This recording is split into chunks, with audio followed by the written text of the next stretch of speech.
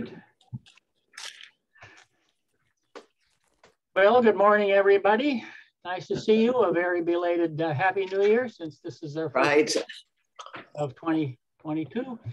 It's also our first meeting with our newest member, Tamsin Ely from the Library Board of Trustees. So for her benefit, at least, I think we should go around the horn as it were and just uh, introduce ourselves so she gets to know a wee bit more about us than just our names. So since I'm gabbing away here already, my name is Tony Butterfield. I'm currently the chair of the personnel board. I'm also a semi-retired professor from UMass in the uh, Isenberg School of Management. And I do want to point out, uh, Tamsin, that our meetings are much uh, less formal. Oh, that's good. And you can call me Tammy. That's my nickname. It's easier. Um, I'll just say one word about myself. Um, I've been on the board since 2012, and I was a logical and the town person. Council, to, we actually call each other by first name. Yeah, Tammy. So uh, I just wanted to say a, just a few words. I've been on the board since 2012, and um, I was a logical person to take over Chris's longstanding job here. I am also a retired librarian. I was a library director for many years. So that's a little bit about myself. Great. Well, welcome. We're glad to have Thank you. Thank you. Glad to be here. Well, I'm I'm Charlie Sherpa. I uh, represent the non-union employees, and I've been affiliated with the town for the past 40 years. right. Well, I'm Catherine Porter. I'm retired from UMass, and I've been on several different uh, boards uh, here in Amherst, but I don't even know how long I've been on the personnel board. I don't know that they've really been checking longevity, but uh, it's this is a, a, yeah this is a wonderful experience because we um, get to see the the workings of the town in this very limited but important way, and that's um, about personnel, who comes, who goes, and of course concerns about salaries. So it's a good place. So welcome. Thank you. Hi, Tammy. I'm Rebecca. Tammy, do you spell your name uh, MMY or MMY? That's my MMY. nickname, but in, in officially I'm I'm Tamsin, but it's yeah. easier for people to use Tammy.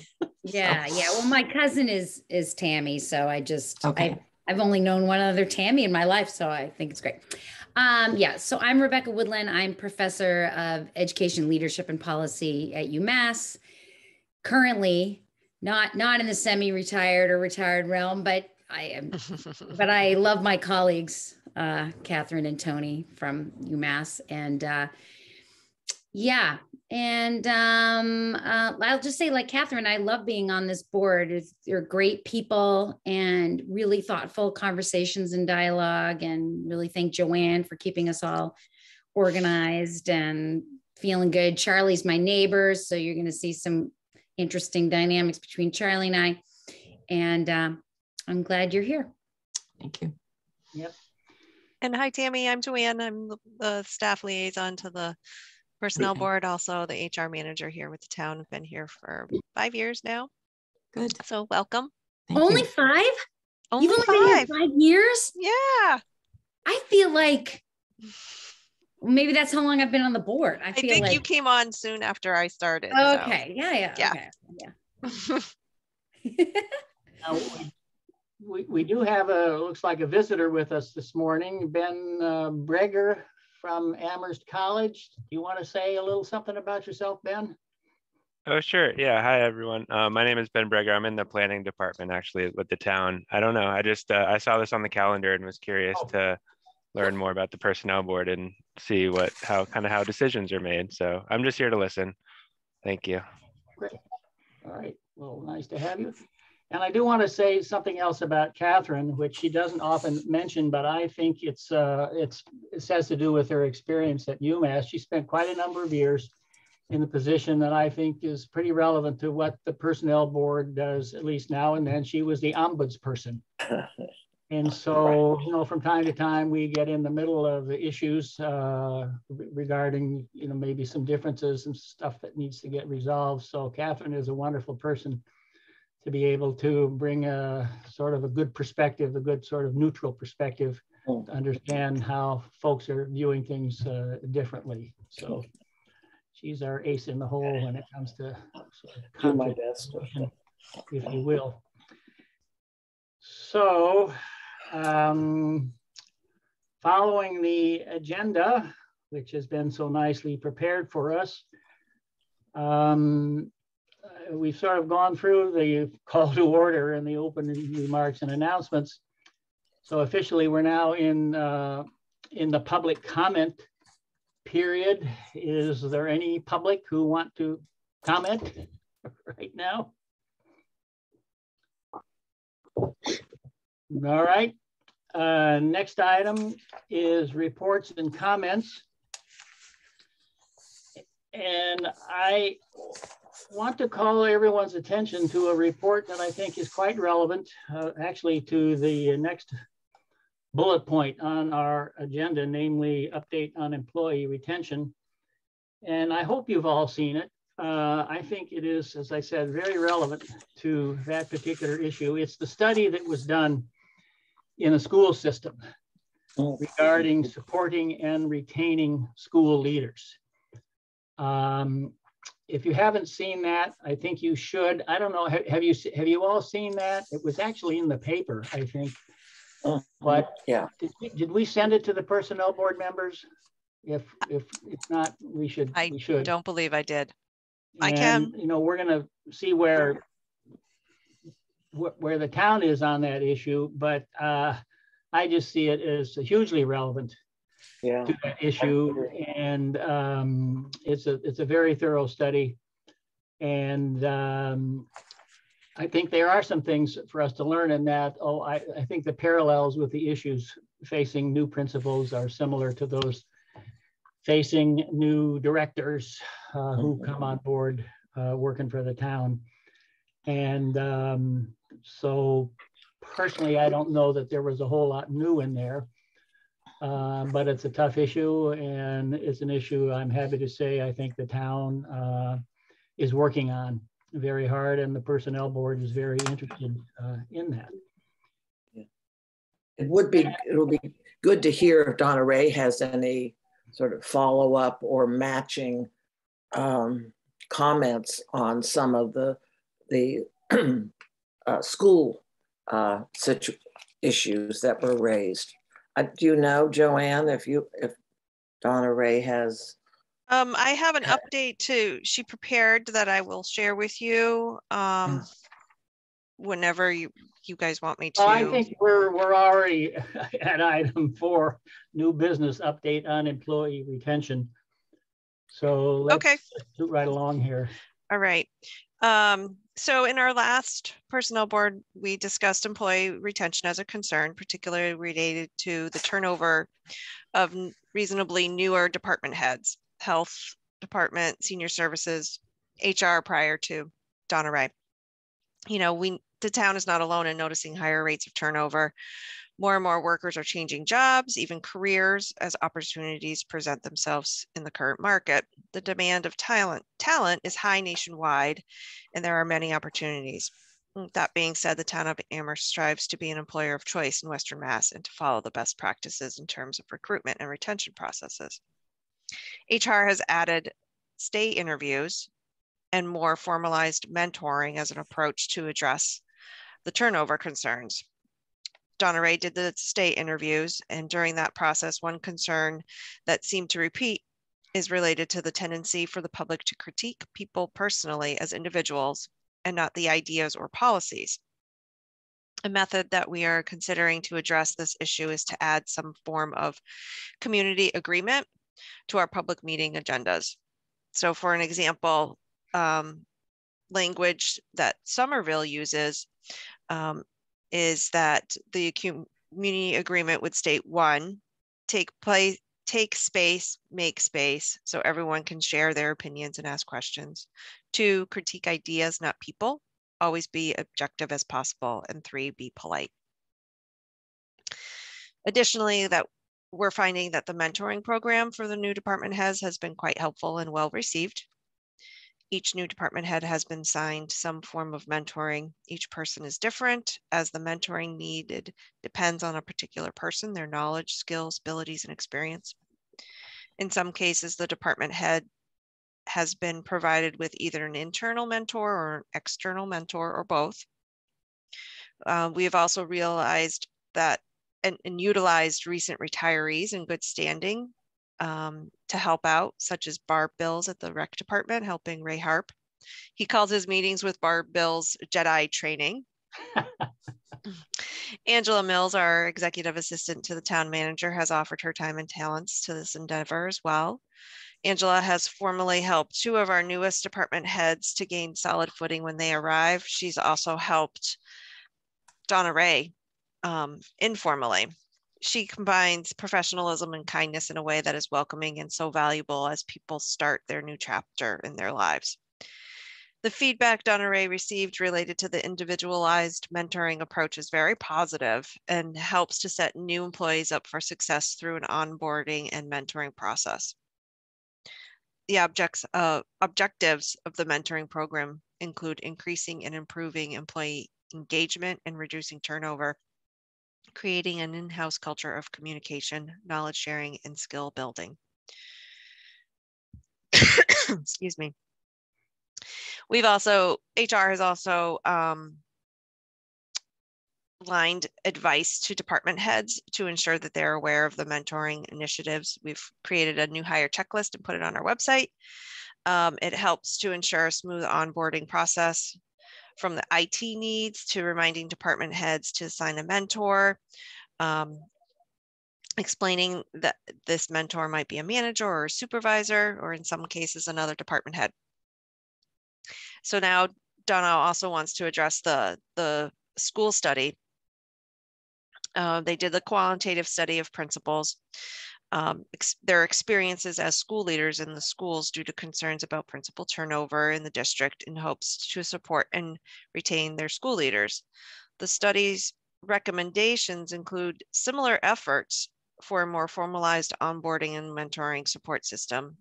HR is closely reviewing this report for additional ideas to support efforts of finding and keeping the best leaders and employees in the town and we will keep the personnel board updating updated on our mentoring and onboarding improvements. So that was what she had prepared on the update for retention. Great. Now I know this has been recorded, but um, it sounds like she's she gave you something in writing. I wonder if you yep. could. Want me to share that? as well? Yeah. yeah. Right. Of Let's course. We'll send it in an email. We don't. Uh, mm -hmm. But uh, comments from my yeah. colleagues on yeah. the board? yeah, I'll. Um, God, I forget what I was going to say. I'm. I was a little stunned when I heard the school report that uh, we have not. There has not been intensive mentoring all along. This should have been happening years ago. It's embarrassing to think that one of the reasons that uh, people may be unhappy in their position is that they could have used better mentoring, should have been there. We should have been doing it here in this town, so at least now we are. But the com- how, how do you control the comments? That seems to be mm-hmm. the insidious part of this whole situation with the town and with the schools. You, it's, it's very good to say, be nice, say nice things, be polite. Um, but um, we've got a town that's almost out of control when it comes to feeling that people can say the most hurtful, ugly things, both in public and in private. And because it seems like a lot of what happens is essentially pers- word to word behind behind closed doors, so to speak. So um, I think we're doing the right thing, um, and I hope the town continues to. And I'm just stunned that we hadn't been doing it in a better way. So that's that's my reaction to both the school and the town. Yeah, my thoughts uh, overlap with yours somewhat, Catherine. Um, one thing I was thinking is when the school district and Mike Morris hired a consultant to do the study, I wondered why. I wondered why the town didn't like why the town and the school district wouldn't kind of think about this at the same time. Mm. Um, I wonder why the I'm not saying we we the town should have hired an external consultant, but it seems like all, almost all of our data gathering has been by anecdotal evidence, mm. by our you know human resource director, who I adore, by the way. You know, I'm just saying that. But in, on the town side, we seem to be doing things kind of anecdotally or not as systematically. And so I really appreciate the town hiring somebody and blah, blah, blah. Um, mm. Then I just also think about, and this is Catherine, where I think it overlaps with what you're saying, is that we have we are in a culture in Amherst and then nested within the larger system and our society as a whole of really lack of civility and um, just unbelievably intense meanness. Um, and I just think if we over focus on mentoring, we're, uh, let's see, I don't want to only focus on mentoring. Mentoring is for the person who's essentially being bullied or having is experiencing it. So it's like, oh, let's help the victim cope with. And I'm, I know I'm, um, I'm exaggerating a little bit to make my point, but so much in that report from the school district was about all these leaders, particularly women leaders, mm-hmm. reporting that they are feeling that their gender is contributing to this lack of respect, getting comments about their age, their appearance, their eating habits, like other. It, it's like, what kind of mentoring is, or what are we mentoring them to do? Take it, accept it, I, I, so I just think we need to be um, thinking about what what are we doing or saying to to make sure that we are not bystanders to the bad stuff and that we are teaching all of our employees about um, civility and appropriate ways to disagree and so forth and so on uh, that doesn't put it all on the person in the position. Right Okay, thank you.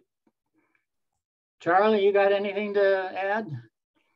Uh, not really. I've lived it for 40 years. You're just finding out about it, but I think I mentioned it the last time, some of the problems we had in this community, but um, no, I have nothing to add. All right. Well, I want to uh, I, I want to add to to both Rebecca's and Catherine's comments. There was a little bit of sort of um, discussion about when it became clear that the number of women leaving these high level positions was more than one or two. There was a little bit of a question is, sh should we do an outside study? And um, my reaction to that was, well, no, let's look into things a little more deeply. And we did do a second round of interviewing to those people who had left. You know, there's there's a the traditional uh, exit interviewing, um, and I didn't do any of those exit interviews. I have in the past, um, but in, in, in some sense, they're kind of pro forma okay, this person is leaving. Now we need to try to figure out why. And uh, so uh, Donna Ray and I uh, did some extra interviews. Everybody had already been interviewed, and then we went back to them to sort of probe a little more deeply. And I actually thought maybe uh, since I don't work for the town, I might be in a sort of a more neutral position to learn what folks had to say.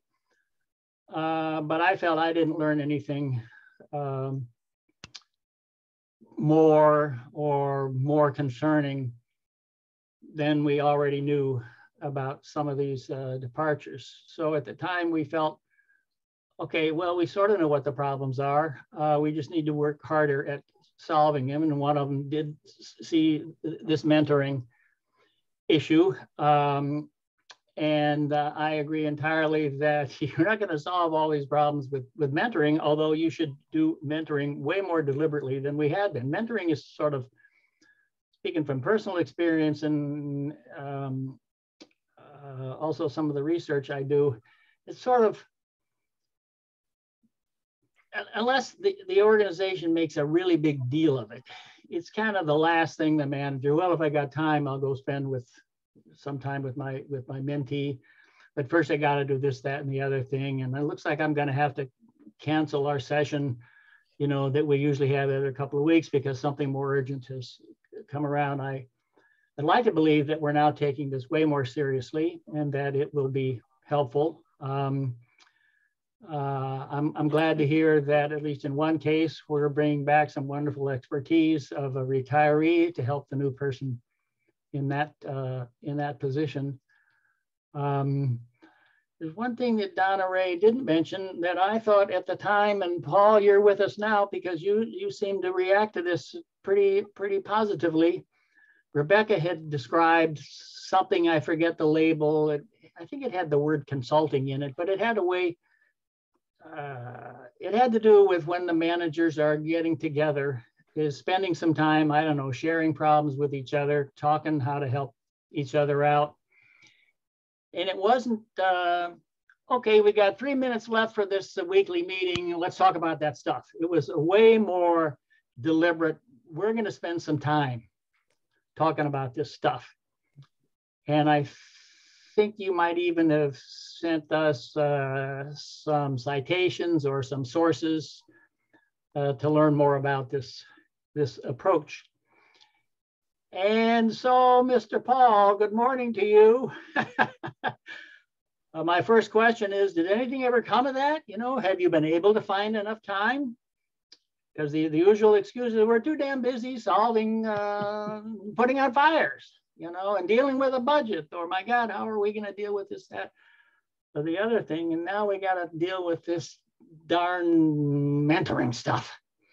So where are you on that, my friend? Yes. So thank you. Um, I think there's two things. One is on the mentoring thing. I think it's it's sort of it's taking different shapes. I'm not sure how much Joanne has shared with you, but you know sometimes it's we look for external support. For some people, we've contracted with people who who are in the profession but outside the town who provide support. Um, sometimes it'll be someone who's been in the position before that we contract with to provide support. But also, I think very very importantly, we've develop teams to support you know incoming department heads and i think that was the best biggest lesson learned.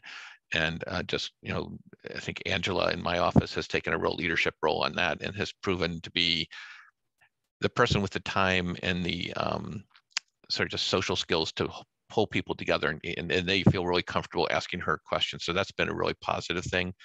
Um, you know for instance she just took the uh, new senior director and the new recreation director out to lunch and um, they were sharing stories about how hard it is to hire people when you're brand new because they both had a lot of vacancies in their departments when they got there. And they're like we don't know how it really works in this town. And they were able to sort of share uh, experiences at that you know both within the first six months of their employment stories. That that was that's an example of something. And they've appreciated they've also written to donna ray saying how much they have appreciated that in terms of the other piece of it, which is the sort of internal consulting group, uh, we have not done anything on that. It's I have found that really um, we have not been meeting in person, um, and uh, I'm hoping that that will change. And and I've just not broached that with the leadership team. So we have a leadership team which is about eight or nine people that meets monthly, and then we have a department heads group which is about 25 people, and they meet quarterly. And those are the those are the two sort of functional ways that we provide. And then I have one-on-one meetings with all the department heads, obviously, um, on either weekly or biweekly basis, depending on the department. Um, so, uh, but you know, to be honest, you know, Tony, we just I have not. I, I really like the idea, but um, you're right. It's sort of like everybody. I've got an hour for this meeting. Let's get through what we have to get through, and it's usually about the budget or something, or ARPA or something like that. So Yep. And, and and also the in the leadership team, it tends to be super experienced people, people, and that's the I've really not puzzled through how receptive folks will be to say, yeah, I'm going to participate in in this full full bore. We have younger staff who've taken on different roles, like in the core equity team and things like that, where they're very interested and willing to to try new things. Um, but it's really on me for not saying this is our agenda. Here's what we're going to do. Um, and I just haven't put the time into thinking like, how is this really going to work to benefit everybody?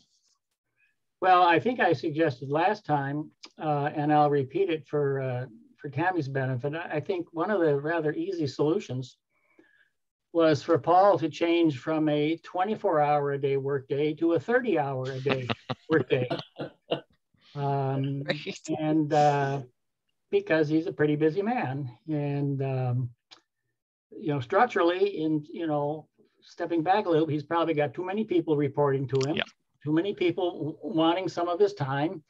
The new hires, especially, want some of his time because they want some guidance they want to learn you know how do you get things done around here and so on and so it's uh, it's a heck, it's a heck of a challenge um, and um, but i do say donna ray has taken on a big chunk of that. She really has made that a priority for her and and she's really reaching out to people and intervening in certain situations as well. So that's been a huge help.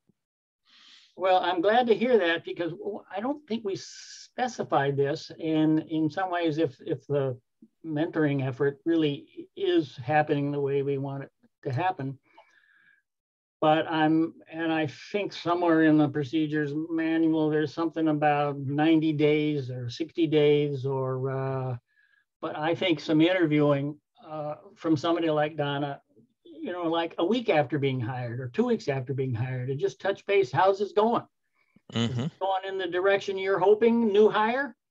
And if it isn't, what can we do to make it go that way? Um, sort of intervening way early on before it's clear there's a problem or there's going to be uh, a problem. So I just want to interject, Tony. Um, when you said in terms of mentoring if what's happening what we want to have happening. Do we the personnel board have anything written down about what we want to have happening? What i'm interested in is not doing things by default or off the cuff but cuff but doing them by design. Purposefully doing things by design and ensuring equitable access to whatever these great mentoring processes are. And maybe this is all written down somewhere but maybe this is something that needs to go into the personnel procedures manual that this group has worked on before that's there's a section on mentoring or there's a section on I, I don't know what what it might be called but it might sort of um, prompt or force the articulation in explicit ways about what we mean by mentoring. I love that Angela's taking people to lunch. Does everybody get to go to lunch? Is it all based on Angela's personality? I'm not saying that shouldn't be, but mm-hmm. how do we ensure that that's something that would happen even if Angela wasn't there? Or you know what I mean? Like yeah. I want things by design, not because, oh, it just happens in this moment because of these people. It works, you know? Yeah, no, you're absolutely right. And, and it has been done um, intuitively instead yeah. of by design. And and it's sort of like to say uh, it was starting to skate a little bit are we are we able to stand up on our skates by doing it this way and then it's like okay now we have a sense of what is needed and honestly we i have we haven't, you know, we've just focused, I have focused on the department head level. Yep. But we don't really, you know, there's a lot of new employees that we're getting a million new employees and they're all feeling the same thing probably, you know. And I yeah. know HR spends the first day of every person's, you know, they spend a lot of time with them the first or second day to say, here's how things work. But that's more about, I mean, Joanne, you do it most of them. So logistical stuff, yes. Yeah. Mm-hmm. Yeah. Yeah. Well, I think something like this uh, I'm going back to uh, Rebecca's suggestion of, of holding those uh, it, discussions. Um, it takes a lot of training skill for perhaps a department manager to even know how to ask a question that will elicit people's opinions. And there has to be a lot of trust that when Joe says to his supervisor, you know, I've got this issue, that Joe can can trust and assume that that comment will be just will be taken, but there'll be no retaliation, uh, et cetera, et cetera. So I love the idea that Rebecca has put forth, and and I can see that for Paul, it's just a challenge to find the time to do that. But it isn't just a matter of throwing people around a table. The person who's conducting that uh, dialogue really has to know how to ask the question and people have to trust that when they give a response um, that it won't they they won't face retaliation or discrimination. So um, it's it's a big picture of and a big package to um, to deal with. So throw that out. Mm-hmm. other comments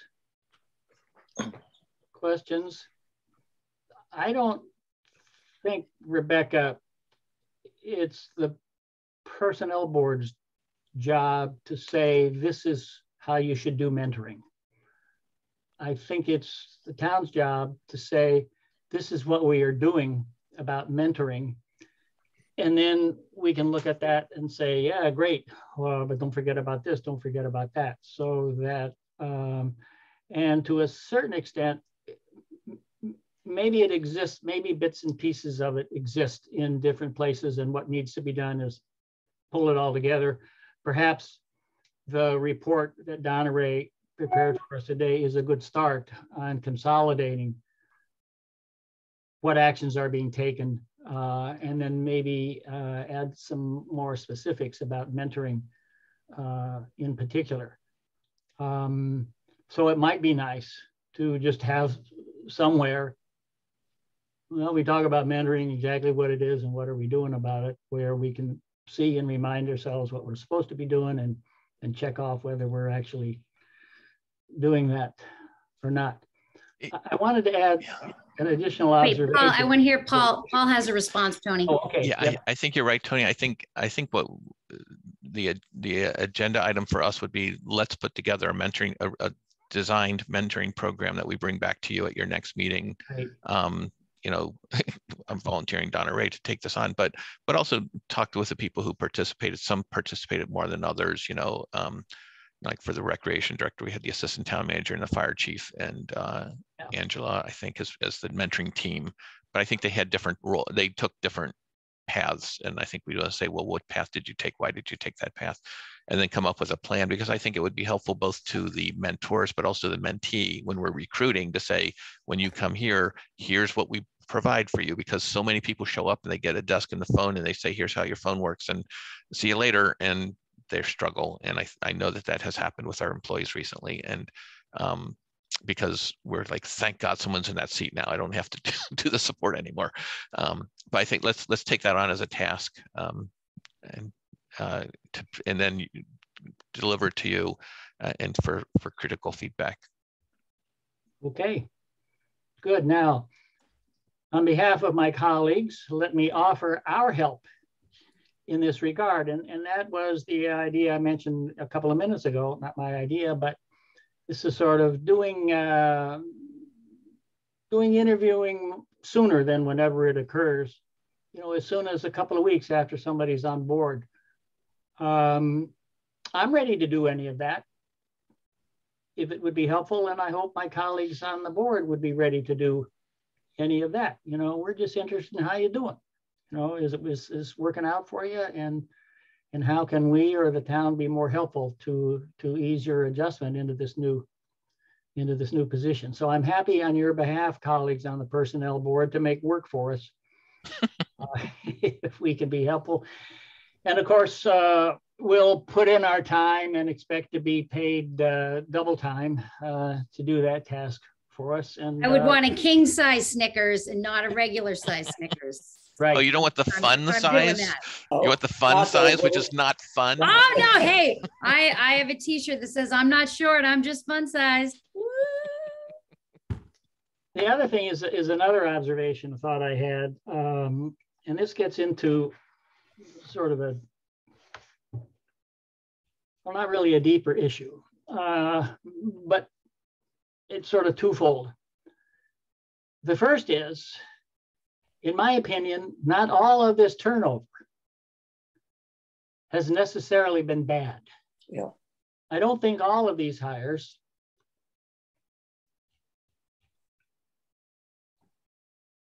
um,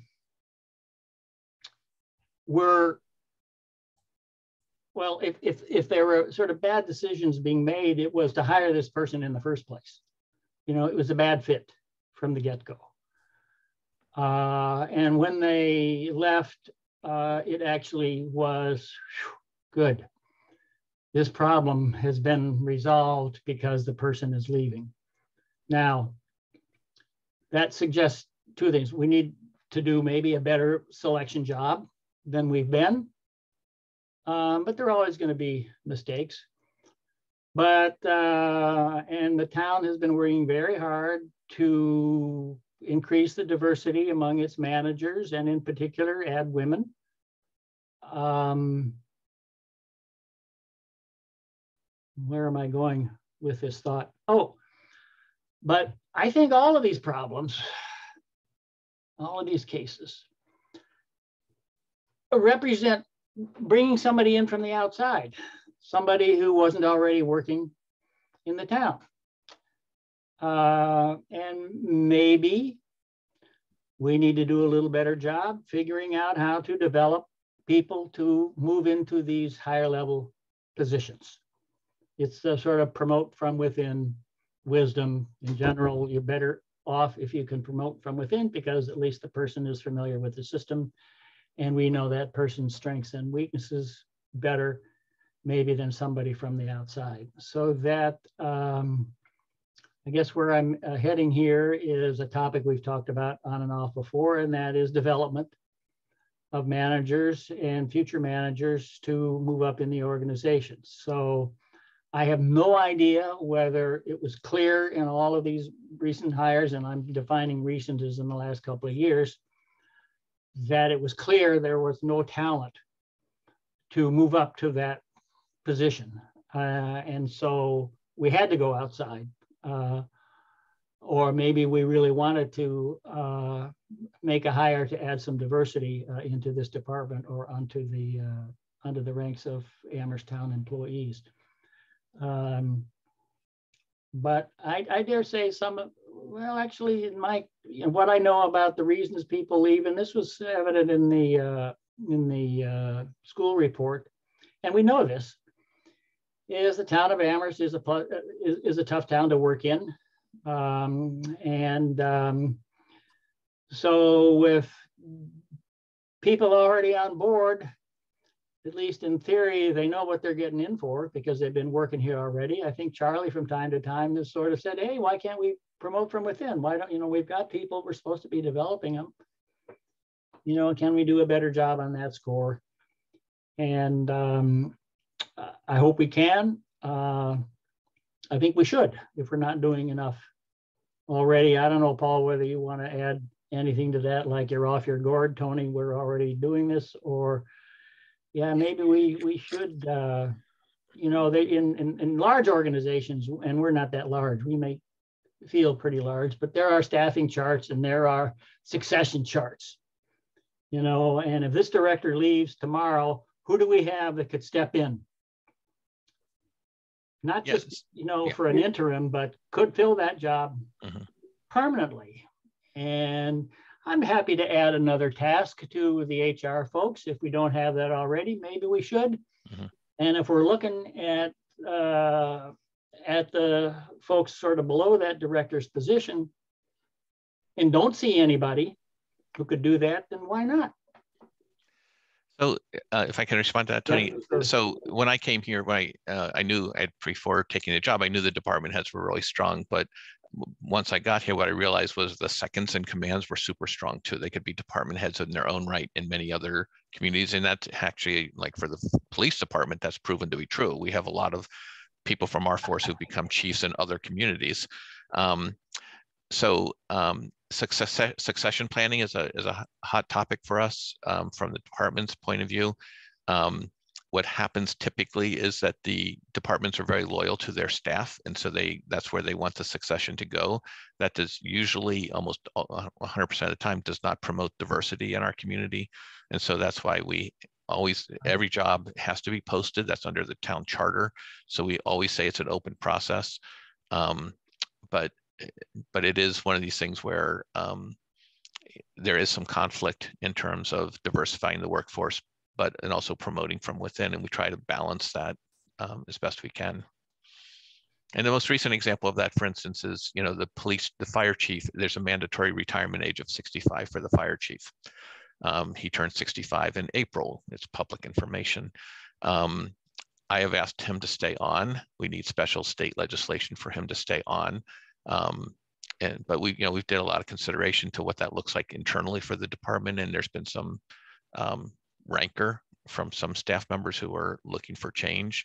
Um, but um, at this point in time, um, having Chief Nelson there as we build our Out to CRESS program, I think is vitally important uh, to have him participate in the development of that new department.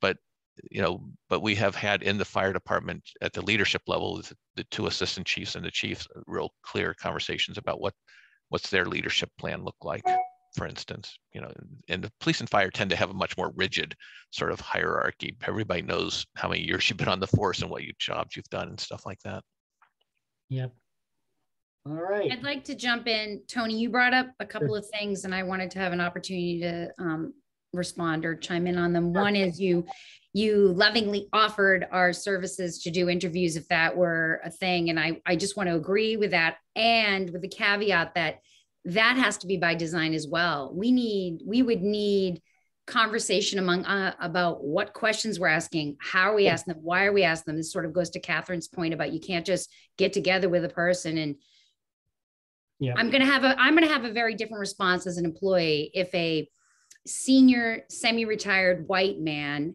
asks me questions versus Joanne is asking me questions. I'm just putting it out there for real. And unless it's unless we're very mindful and by design how we're doing it we're we're we're going to be comparing apples to oranges and not having any information that could be sort of generalized or inform our work going forward. So I would just want to say I don't want to be off the cuff about that. If we are going to do interviews, we need to have conversations about what those interviews are and how they're being conducted and where they're asked and so forth. Um, the other thing I wanted to bring up was this issue of mentoring obviously is not new. It's not unique to Amherst. I mean, I just did a quick Google search. Various towns have mentoring plans. We could look at them. Um, there's a statewide mentoring plan for schools, teachers, and districts that I'm sure Amherst is referring to. So the idea that we would start from scratch and write down what we're doing to me is like, oh boy, the, you know, mm-hmm. there's, there's some lifting that's been done on this. Let's yep. let's use some of the lifting. Yep. Yep. Yep. No need to start from scratch. Yep.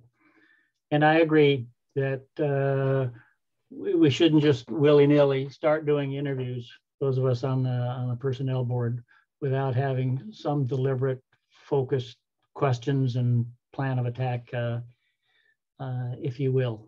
Um, so are we, are we um, okay on this agenda item? Uh, guess so. Yeah. And ready to move on because uh, Paul just said a magic word uh, a few uh, moments ago on the second bullet point under new business, which is status of new departments, DEI and CRESS. So do we have something from Donna on that? Something from Paul? What's happening on these new departments? Did Donna give anything to you, Joanne? Yeah, I, I do. I do have an update. Um, again, it's a written pre prepared document. I can share it with you too, but I'll I'll just read from it. Um, so the Community Safety Working Group, also known as as the CSWG, has been meeting weekly since it formed in 2020. Wait a minute, hold hold on, sorry. CSWG. It's the I community. Got now, and we got CRESS. Mm. Oh, that's on the quiz. What does CRESS stand for?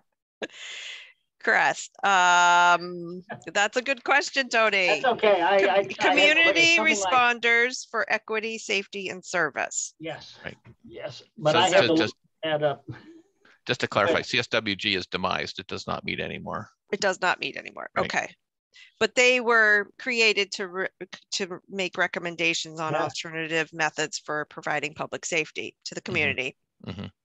and making reforms to the cultural cu- current cult, current organizational and oversight structure of the APD. The group spent their time studying the complex issue of delivering community safety services to ensure racial equity and examining existing town funding priorities to, live, to deliver those services.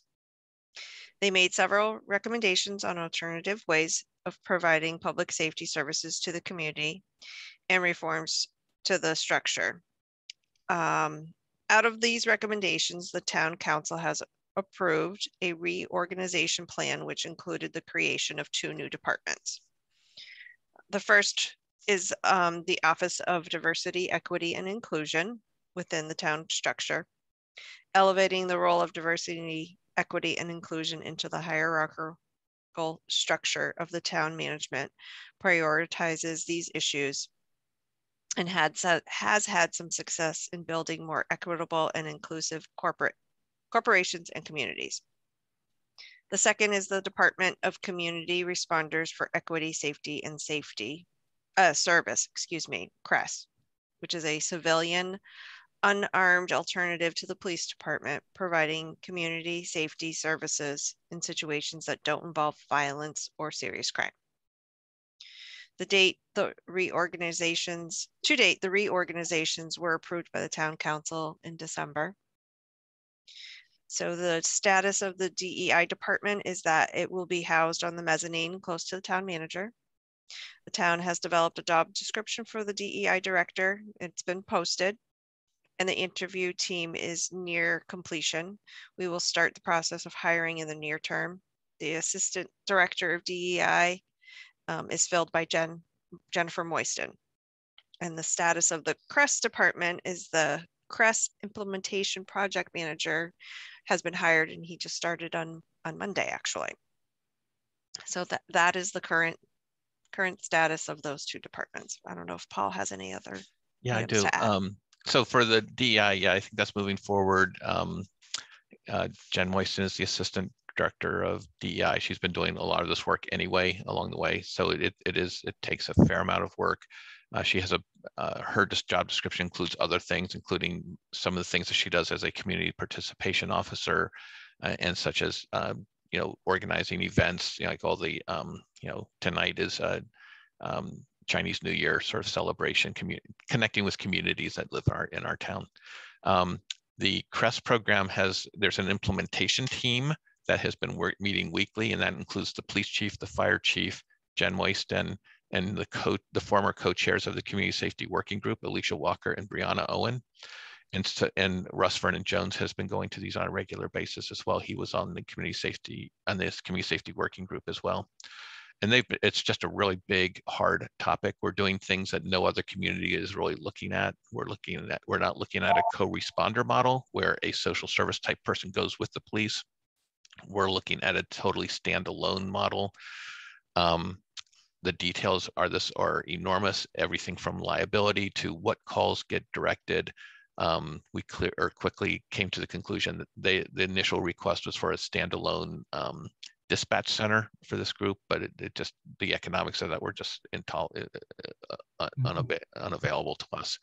So now we're going through our normal dispatch. And so Mike Curtin from dispatch is saying, okay, I need to know exactly what calls, and we're not going to give a call to somebody who's not, you know, there's, there's just every detail. You have to look at every every call.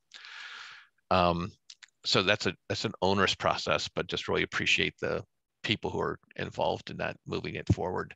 Um, the implementation manager is actually a grant funded position that's just really a grant manager as much as anything. It's it's not a leadership position, the CRESS director and that's where we have our interview team getting ready to, to reviewing interviews uh, at resumes and uh, going to do interviews in relatively near future. When that person gets on board, then things will start to move forward. They'll be able to start to hire um, CRESS um, workers.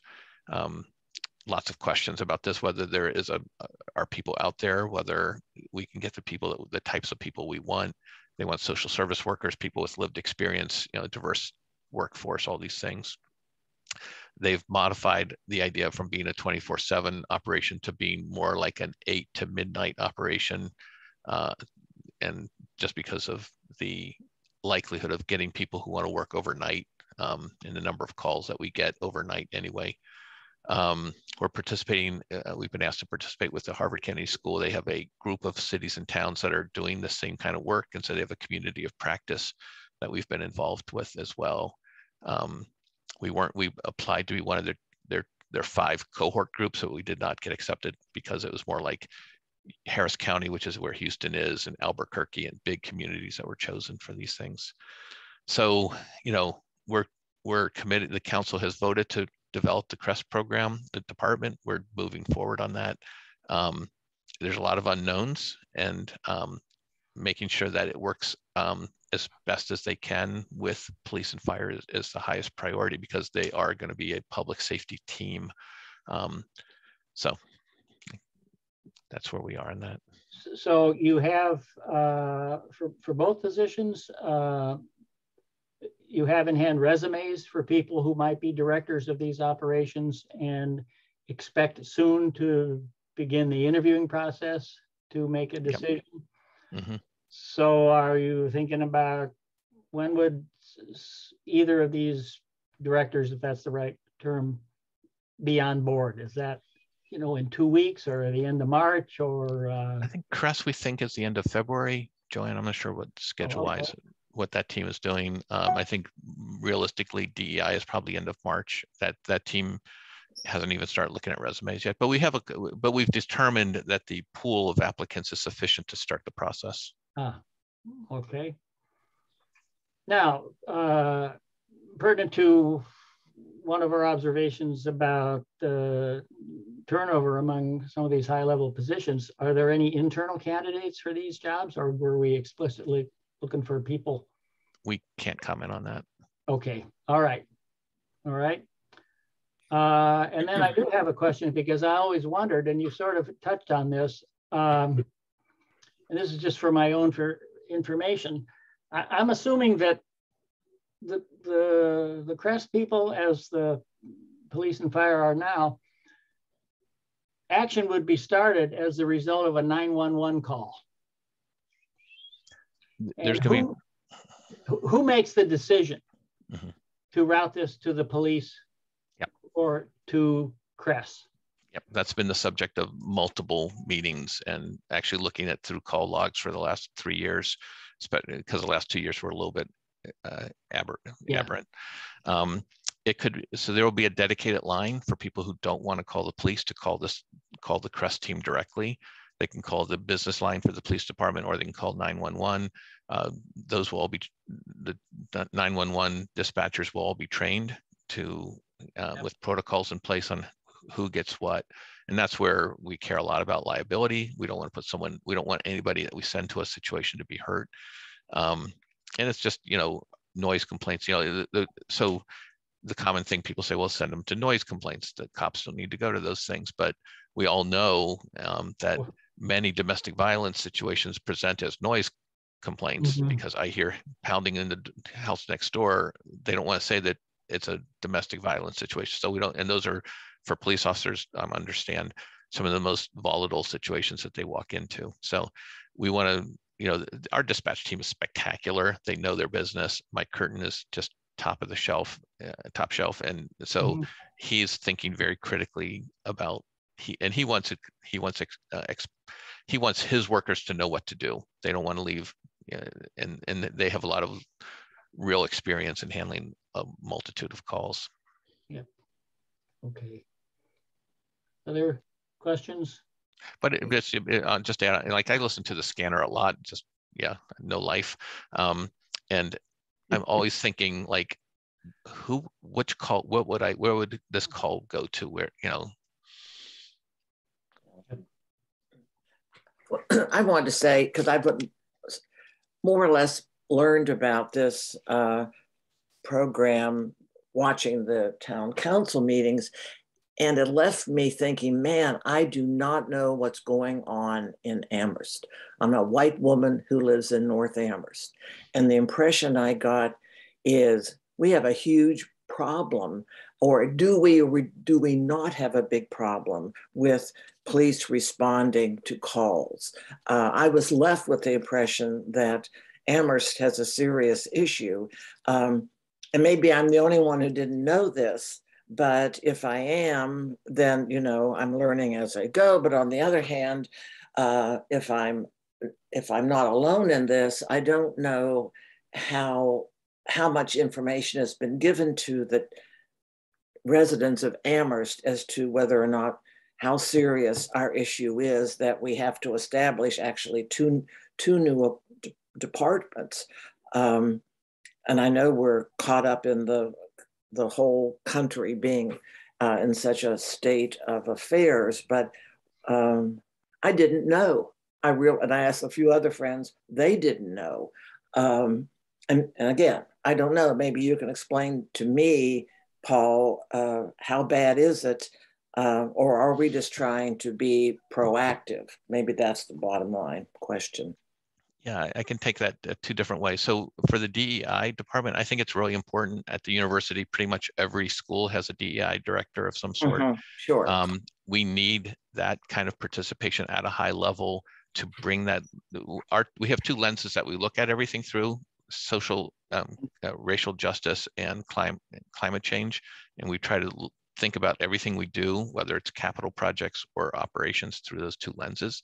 It's hard. We're still learning how to do that but I think the need for the DEI director is just um, participate, you know, presence matters. Eh, being present in conversations, it matters. And so I think that that's a really key thing for us to have as a town. Um, we're doing more than most towns do. We have two positions. It's, it's a two position department. Um, many towns have a DEI officer of some sort. Um, but I think, you know, it's a pretty high priority for the town, at least to stay as established by the council. Um, in terms of the CRESS program, the testimony, there was a lot of testimony that came in.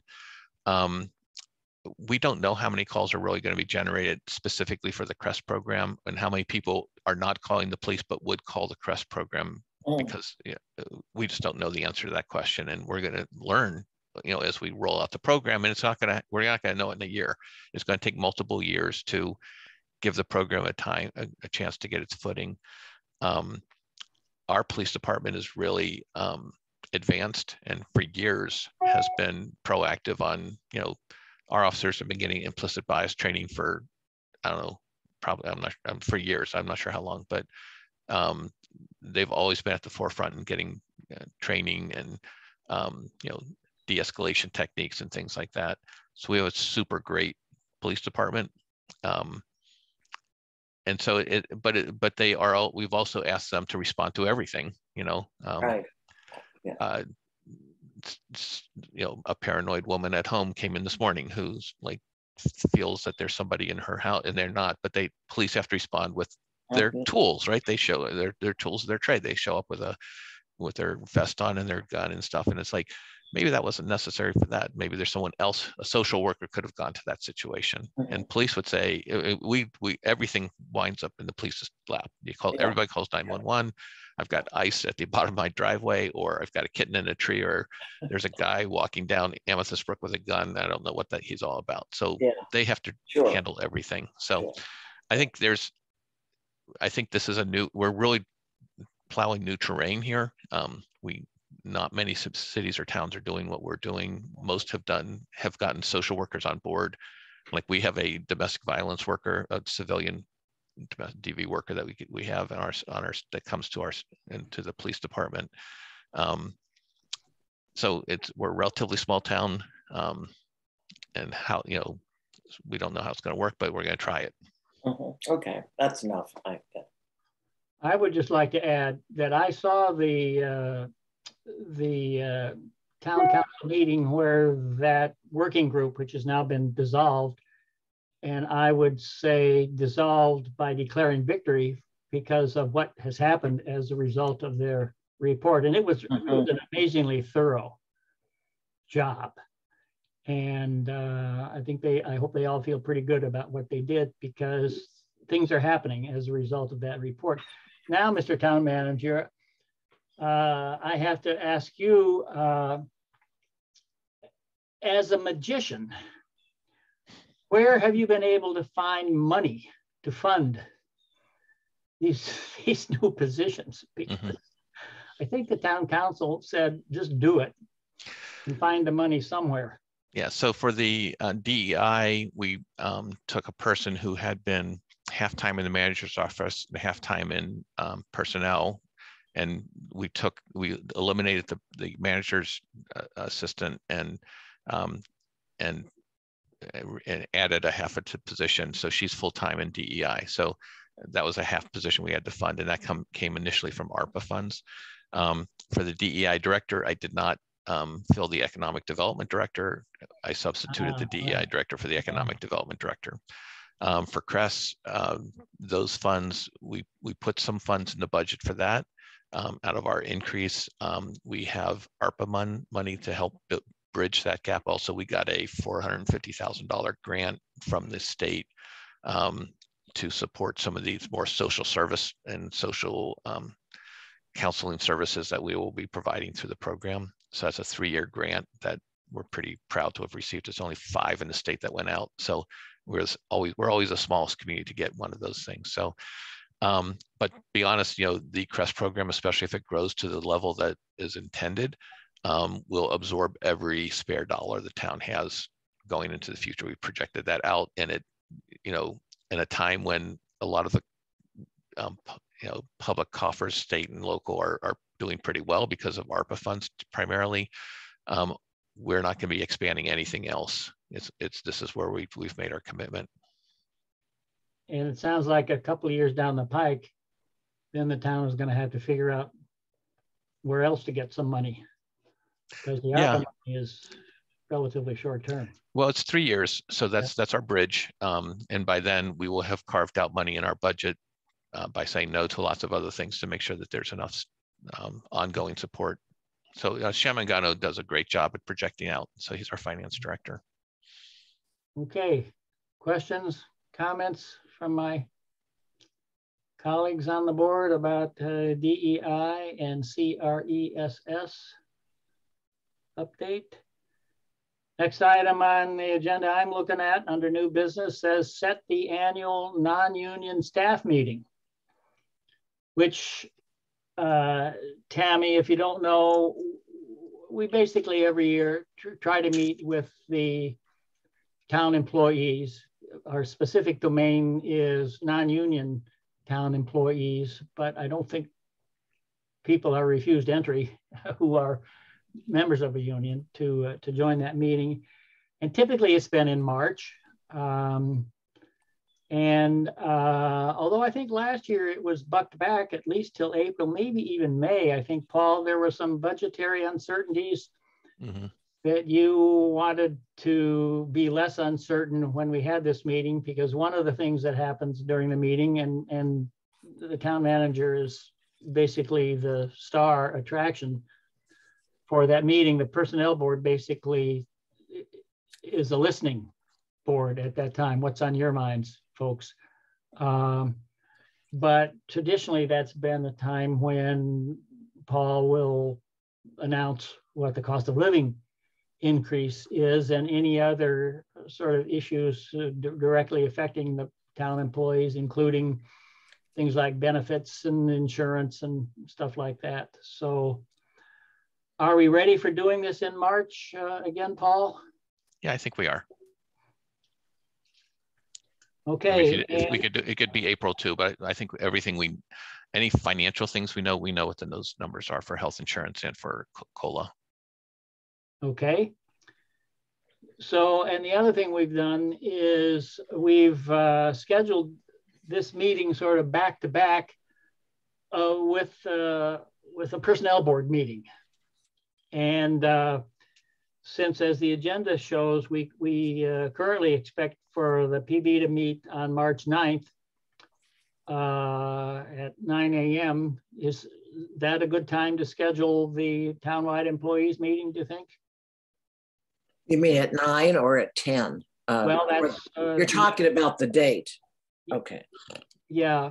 Okay. I, I think we usually do the town meeting, employees meeting first, right? And then Oh. immediately because once in a while there are issues that we can act immediately on based on what we've learned uh, in that town meeting. So Would, would you consider the 16th as a possible alternate date? Would I- I, I can make- I- that? Yeah, that's, a- I- that- I can make the ninth work, but it's, there's, I would just, we would need to move some, well, we fortunately, we got all of the uh, PB members here. The 16th works for me. Does it work Yeah. for the rest of you, dear colleagues? We're talking March. 16th, yes, right. that Yeah, be- now, the issue there is that's right in the middle of spring break and I'm not retired. And that is when I would be doing something okay. Not, keep, not Well- work. Uh, But, you know, I don't want to be the party pooper, but well, I am, a- I am actually on that schedule. so we can keep the ninth then. party pooper, well, can't you just zoom in from Fort Lauderdale or? uh, That's right. She goes to Fort Lauderdale.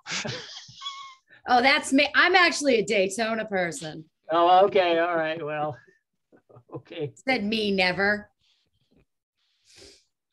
All right, so what do we want? 16 or nine? The 16th is a Jones Library Board uh, uh, trustee meeting at nine o'clock in the morning. Oh, So so I that- would be unable to attend. On the 16th. Let's keep the ninth then. Let's do the ninth. Looks very definite, so, okay, that's what we'll do, and we'll do the, uh, the town uh, employees meeting first, roughly nine to 10, and then we'll meet immediately after to do whatever business we need to be doing immediately after. And, um, okay. Uh, we also need formally to approve uh, the minutes of our November the 10th meeting. Joanne sent them out. I assume you've uh, read them carefully and uh, did your best to make sure everything was accurately reported. And does anybody have any questions, comments, corrections to want to make officially to those minutes? If not, I, I would just say Catherine's name sometimes is up in there with an E and sometimes with an A, and she's a double A. She's a double A gal. Mm -hmm. That's never I happened just wanna- before. I just want to honor the name thing. Oh, God, I don't care. It's, I know you don't care, but I care. Okay, A R I N E. Oh, I did it wrong. I did it right at the top, but But in the body, e- I did it yeah, wrong. I apologize, Yeah, but Catherine. on my email, it's E R I N E, which is a long story and a mistake I made Oh, years ago with Comcast, so, yeah. Uh, I'm almost There's no going back with Comcast. You Uh, don't no, want to no, mess with that. No, no, no. Comcast tells me it's ER. I'll take it, yeah. Right, exactly. That's, that's. Might as well just change your name at the clerk's office. I'm almost thinking about it. I mean, Just go all the way back to the beginning. yeah, I'm almost thinking I should change my name. Any other sharp-eyed tweakings need to be made to the minutes? If not, can we have a motion to approve as tweaked? I so move. All right. I second. Okay, any other discussion? Tweaking? All in favor, say aye. Aye. Aye. Opposed, abstentions? Okay, the minutes are hereby approved. And uh, topics the chair did not reasonably anticipate 48 hours in advance of this meeting. I don't have any new topics to put before us. Don't we have the staffing report that I? Oh, pardon me, I skipped right over that. Yes, thank you for noticing. Yeah. All right. So Joanne, you want to uh, lead us through the staffing report? and sure. uh, Anything of particular interest? Um, well, we had, we've had some, we've had a, a, little bit of movement. We, uh, we lost our assistant land manager. We're in current recruitment for that. I think we have two finalists. Um, hopefully we can make an offer by the end of the week. Um, we lost a firefighter and a DPW worker and our senior center admin assistant, Jennifer Reynolds. Um, she, interestingly enough, she took on our new senior center director's former position in Bernardston. So, uh, so that is that. We uh, rehired one of our former DPW employees. um, as our labor truck driver. We hired on um, a um, bilingual customer assistant to work in our front office for central services with the tax collector, well, tax collections, excise tax, all of that, parking tickets, um, and rehired a former dispatcher as well.